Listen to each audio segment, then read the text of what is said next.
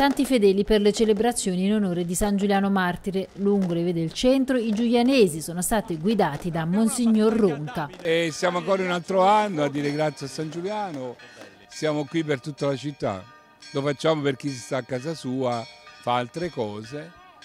Giusto. Ci ricordiamo che una sola è la cosa necessaria che nessuno ci toglierà, quella di camminare con una meta nel cuore, sapendo che il Signore sarà la nostra gioia, la nostra forza e di tutti gli abitanti di Giuliano.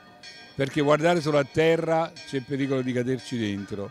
Guardare un poco anche avanti significa sapere che andiamo verso una meta, un po' più di fraternità, di rispetto di questa nostra terra, di rispetto dell'ambiente, di rispetto di chi non ha molte possibilità e ognuno, dandosi una mano, possiamo costruire veramente una città più fraterna e più giusta. In corteo anche le reliquie del santo. Già il busto che portiamo in processione è un reliquiario perché al suo interno porta delle ossa del santo, però portare anche questa significa poter ancora una volta dare l'immagine di un santo vicino alla popolazione che la incoraggia, che l'accompagna e che è sempre pronto a sostenere le sue fatiche. Commossa la partecipazione dei fedeli. Qual è la preghiera di quest'anno per la città?